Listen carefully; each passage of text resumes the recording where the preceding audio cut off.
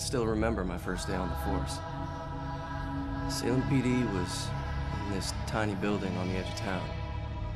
It was old, crowded, completely insufficient to handle the day-to-day operations. Protecting Salem was getting harder and harder. Finally, the city decided to convert the old armory into our new headquarters. When we finally moved in, I couldn't believe how big and modern the place was. Not bad for one of the first buildings in Salem. Plus, it just felt right. It used to be the city's first line of defense in a wild frontier, and now it had resumed its post once again, only this time in a modern world.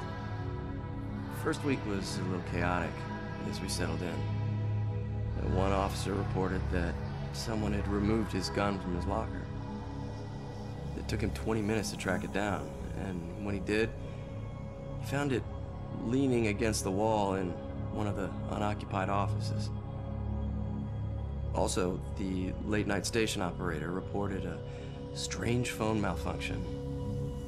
Occasionally, when someone would call in to report a shooting, the recording would just stop.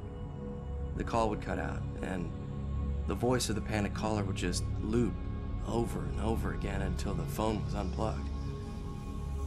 Soon it was pretty clear that these strange occurrences weren't just honest mistakes or faulty phone lines.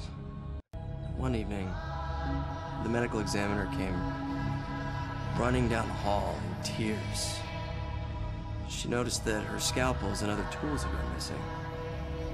She went to get more from the cabinet, but stopped cold at what she saw in the reflection. A ghostly silhouette a Civil War soldier was standing over one of the corpses. She spun around. It was gone. She barely noticed how cold the room had gotten before running off. Of course, the guys didn't believe her. Hell, I didn't either. Until I saw it with my own eyes.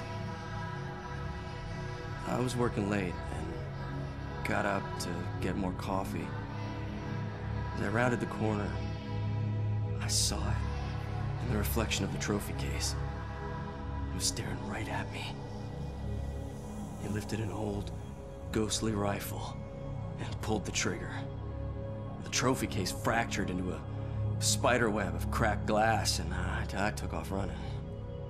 The captain didn't believe me and docked my next paycheck to replace the glass. I didn't care if people thought I was crazy. I know what I saw.